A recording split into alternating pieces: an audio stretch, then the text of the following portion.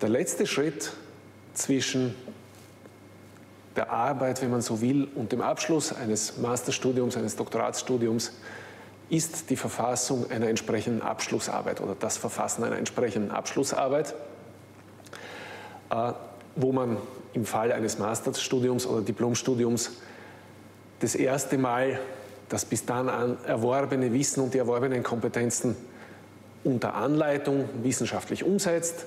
Beim Doktorat wird ja bereits erwartet, dass man da schon ein größeres Thema eigenständig wissenschaftlich bearbeitet. Selbstverständlich lässt die Universität ihre Studierenden diesbezüglich unter Anführungszeichen nicht im Regen stehen, sondern ist verpflichtet und macht es auch gerne, eine Betreuung sicherzustellen. Und damit stellt sich für Studierende und Lehrende die Frage, wer darf solche Arbeiten überhaupt betreuen? Zunächst kurz, was sind Abschlussarbeiten? Der Terminus bezieht sich tatsächlich auf Master- und Diplomarbeiten einerseits und Dissertationen andererseits. Worauf bezieht er sich nicht? Auf Bachelorarbeiten, die haben eine andere Grundlage. Die gesetzlichen Grundlagen sehen Sie hier auf der Folie zusammengefasst. Das ist einerseits einmal das Universitätsgesetz, Paragraph 81 für die Masterarbeiten, 83 für die Dissertationen. Ähm, was sind die Unterschiede? Das Thema einer Masterarbeit ist so zu wählen, dass es in sechs Monaten realistisch bearbeitet werden kann. Ähm, die Dissertation kennt so etwas nicht. Dort ist allerdings für Studium eine Mindeststudiendauer von drei Jahren im Gesetz. In beiden Fällen ist es möglich, dass Studierende Arbeiten gemeinsam bearbeiten, Themen gemeinsam bearbeiten. Äh, wichtig ist dabei nur, dass die Beiträge der Einzelpersonen ganz klar auch zuordnenbar sind. Also das Abgeben einer gemeinsamen Masterarbeit, wo am Titelblatt steht, meine beste Freundin und ich oder mein Schulkollege und ich, ist nicht möglich. Das heißt, die Einzelleistungen müssen natürlich klar ersichtlich und beurteilbar sein. Für viele Studierende Lehrende und durchaus auch Studienprogrammleitungen im Haus stellt sich oft die Frage, wer darf so etwas überhaupt betreuen? Wer kann so ein Thema zu einem erfolgreichen Abschluss bringen? Ähm, und dafür gibt es ein paar formale Regeln, die einzuhalten sind. Die Regeln, die für die Uni Wien gelten, sind hier auf der Folie kurz zusammengefasst. Es ist hier sehr viel Information, wir werden also langsam durchgehen. Ähm, Sie sehen hier in der mittleren Spalte der Tabelle Diplom- und Masterarbeiten, in der rechten Spalte die Dissertationen. Die Farbkodierungen sprechen bis zu einem gewissen Grad für sich. Wir schauen es uns trotzdem einmal an. Alles, was Sie hier hellgrün hinterlegt sehen, heißt, die Person ist betreuungsberechtigt. Welche Personen sind das? Professorinnen und Professoren, assoziierte Professorinnen und Professoren, Assistenzprofessorinnen und Professoren nach Dienstrecht neu, das bezieht sich nicht auf die Assistenzprofessorinnen und Professoren nach Beamtendienstrecht, von denen gibt es allerdings nicht mehr sehr viele. Ähm, die dürfen und Arbeiten betreuen und sind bis zu einem gewissen Grad auch verpflichtet, Arbeiten zu betreuen, wenn Studierende sich melden. Sie sind allerdings nicht verpflichtet, jedes beliebige Thema zu betreuen. Also es muss fachlich natürlich passen für die betreffende Person. Das gilt sowohl für Diplomarbeiten als auch für Dissertationen. Jetzt gibt es natürlich Personen, die nicht in diese Kategorie fallen. Und ich habe eines noch vergessen, und zwar habilitierte Mitarbeiterinnen und Mitarbeiter, also Privatdozentinnen und Dozenten, dürfen natürlich auch betreuen selber. Das ist auch ganz klar. Es gibt Mitarbeiterinnen und Mitarbeiter mit Doktorat, die schon relativ weit fortgeschritten sind und beispielsweise ein großes Projekt, Drittmittelprojekt bekommen haben, dessen Ziel es ist, eine Forschungsgruppe aufzubauen. Das sind zum Beispiel ERC-Grants, ähm, das sind Schrödinger-Stipendien und ähnliche sehr große Stipendien. Die dürfen Masterarbeiten und Dissertationen, die im Zusammenhang mit diesen selbst eingeworbenen Projekten stehen, natürlich auch selber betreuen. Ähm, das ist das, was Sie hier gelb, gelb markiert sehen.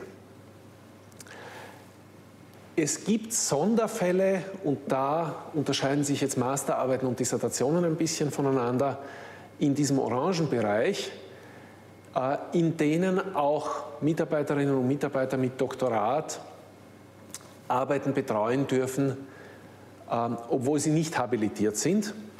Äh, beim Masterarbeiten ist das oft der Fall, wenn eine Person eine spezielle Kompetenz hat, für die niemand Habilitierter zur Verfügung steht.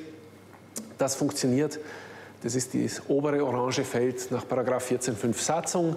Da muss die Studienprogrammleitung alle Habilitierten anhören, nicht alle, aber die facheinschlägigen Habilitierten anhören, ob es eine Person mit Habilitation gibt, die das betreuen kann oder eine betreuungsberechtigte Person. Und wenn nicht, kann eine Person mit Doktorat das auch ausnahmsweise im Einzelfall betreuen.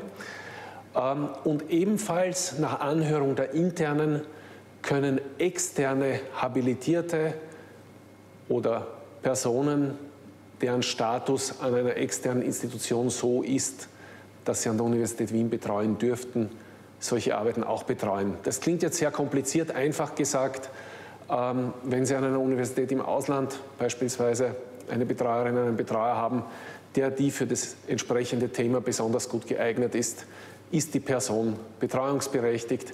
Es gibt auch Institutionen innerhalb Österreichs, beispielsweise Naturhistorisches Museum, beispielsweise irgendwelche geologischen Bundesanstalten, wo Personen sind, die habilitiert sind, die dürfen auch betreuen. Es müssen nur wieder die internen zustimmen. Bei Dissertationen ist es grundsätzlich gleich mit einer Ausnahme. Äh, Dissertationen dürfen grundsätzlich nicht von Personen betreut werden, die ein Doktorat haben, aber keine darüber hinausgehende akademische Qualifikation. Denn es ist die Politik der Universität Wien, dass eine betreuende Person in ihrer akademischen Qualifikation mindestens eine Stufe über dem angestrebten Abschluss sein soll. Es gibt dann noch das Konzept der Mitbetreuung. Sie sehen hier, wenn Sie auf der rechten Seite schauen, äh, beim grün hinterlegten Feld steht dort Betreuung zulässig, Mitbetreuung kann vorgeschlagen werden.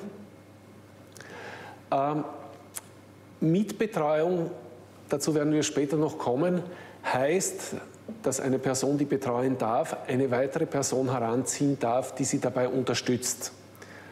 Ähm, wer darf mitbetreuen?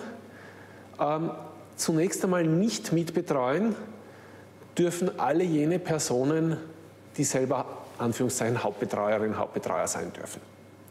Die dürfen nicht mitbetreuen. Warum? Dazu kommen wir gleich. Ebenso dürfen keine externen mitbetreuen. Das hat einen Grund, zu dem komme ich auch noch.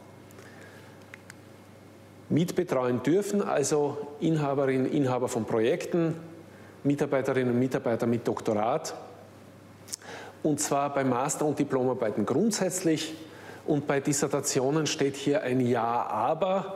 Und zwar dürfen die dort nur mitbetreuen, Dissertantinnen, Dissertanten, die beispielsweise auf einem FWF-Projekt arbeiten, das die betreffende Person mit Doktorat eingeworben hat. Also Szenario, eine Person ist Postdoc, aber noch nicht habilitiert, hat ein Projekt an Land gezogen und darf Dissertantinnen und Dissertanten in diesem Projekt mitbetreuen. Selber betreuungsberechtigt ist sie nicht. Was sind die Unterschiede zwischen Diplomarbeiten, Masterarbeiten einerseits und Dissertationen andererseits? Schauen wir uns Master- und Diplomarbeiten an. Diese können an der Universität Wien grundsätzlich nur von einer Person betreut werden. Das ist eine Regel, das ist eine Policy. Die Mitbetreuung ist aber zulässig. Das heißt, die Betreuerin, der Betreuer kann eine Person mit Doktorat hinzuziehen. Der Betreuer oder die Betreuerin darf die Arbeit auch beurteilen, also benoten am Schluss. Bei Dissertationen, die können von mehreren Personen betreut werden. Sie können also, wenn Sie beispielsweise in einem größeren Verbundprojekt arbeiten, in dem mehrere Gruppen sind, können Sie durchaus von mehreren Professorinnen und Professoren betreut werden. Ähm, das ist ja auch in den Doktoratsschulen der Universität Wien vorgesehen, dass mehrere Personen als Ansprechpersonen, als Betreuerinnen und Betreuer zur Verfügung stehen. Die Mitbetreuung ist an Bedingungen geknüpft, das heißt, die mitbetreuende Person muss ein Projekt eingeworben haben, das die betreffende Dissertation finanziert. Und üblicherweise gibt es eine externe Begutachtung durch mindestens zwei Personen. Das heißt, in aller Regel ist Betreuung und Beurteilung bei der Doktorarbeit getrennt. Das ist eine Maßnahme zur Sicherstellung der wissenschaftlichen Qualität und auch des externen Feedbacks für Betreuerinnen und Betreuer. Was ist der Unterschied zwischen Betreuung und Mitbetreuung? Das ist etwas, das für viel Verwirrung sorgt. Und wenn Sie bis hier an dem Punkt im Video angekommen sind, kann es durchaus sein, dass ich diese Verwirrung bis jetzt eher befeuert als verringert habe. Also schauen wir uns das auch noch kurz systematisch an. Eine Betreuerin, ein Betreuer übernimmt Verantwortung für diese Abschlussarbeit. Verantwortung dafür, dass sie nach den Regeln der Universität Wien abläuft, dass die Regeln der guten wissenschaftlichen Praxis eingehalten werden, dass der Stand der Wissenschaft eingehalten wird, ähm, durchaus auch die studienrechtliche Verantwortung im Sinne von Arbeit ist plagiatsfrei, wird rechtzeitig eingereicht und so weiter und so weiter. Ist also die Person, die die Universität Wien als verantwortlich für diese Arbeit ansieht. Studienrechtlich jetzt aus dem eigenen Mitarbeiterinnenstab. Mitbetreuerinnen und Mitbetreuer haben diese Verantwortung nicht, unterstützen aber bei der Betreuung der Arbeit. Die Letztverantwortung liegt natürlich bei der Betreuerin, beim Betreuer. Warum macht man so etwas überhaupt? Beispielsweise, weil eine betreuungsberechtigte Person aufgrund der Studiensituation beispielsweise relativ viele Arbeiten zu betreuen hat und für einzelne Arbeiten andere Personen heranzieht, die unterstützen im Tagesgeschäft. Anderer Grund, Postdoc steht kurz vor der Habilitation oder wird vorbereitet darauf, sich auf, auf Positionen, auf professorale Positionen zu bewerben im Ausland und muss Betreuungen nachweisen. Dann kann man sie zur Mitbetreuung heranziehen, um sie auch im Sinne der Nachwuchsförderung an der Universität Wien an diese Aufgaben heranzuführen. Wichtig ist, dass die Mitbetreuung grundsätzlich vom zuständigen Mitglied des Dekanats, also Vizedekanin, Vizedekan für Lehre, genehmigt werden muss. Ähm, und das erklärt auch, warum Mitbetreuerinnen und Mitbetreuer immer intern sein müssen, also ein Dienstverhältnis mit der Universität Wien haben müssen, um nämlich sicherzustellen, dass auch die arbeitsrechtlichen Vorgaben eingehalten werden. Das ist nicht nur Studienrecht, denn es soll salopp formuliert ja nicht in Sklavenarbeit ausarten für die betreffende Person. Sie haben ja auch noch andere Tätigkeiten und andere Aufgaben im Rahmen der Universität. Was uns zur letzten Frage führt, wer ist intern und wer ist extern? Das ist jetzt im Vergleich zu allem dem vorherigen wesentlich einfacher. Intern sind alle Personen, die in irgendeiner Weise im entsprechenden Semester einen Dienstvertrag mit der Universität Wien haben. Da genügt ein Lehrauftrag. Es muss kein permanentes Dienstverhältnis sein. Und extern sind alle Personen, auf die das nicht zutrifft. Das ist vergleichsweise einfach. Ich hoffe, die Fragen sind dadurch naja, zumindest nicht weniger unklar geworden. Die weitere Hoffnung geht eigentlich darin, dass es etwas klarer geworden ist. Wenn Sie Fragen haben oder Unklarheiten, empfehle ich Ihnen zunächst, sich an die zuständige Studienprogrammleitung oder Doktoratstudienprogrammleitung zu wenden. Wenn die Frage dann immer noch nicht geklärt ist, gibt es auf der Homepage des des bzw. der Studienpreises eine Reihe von Informationen zum Studienrecht, wo unter anderem auch die Betreuungsberechtigungen aufgeschlüsselt sind, noch einmal. Und wir stehen Ihnen selbstverständlich unter der Adresse büro.studienpreises.univia.cat auch für die Abklärung individueller Fragen oder die Lösung individueller Probleme sehr gerne zur Verfügung.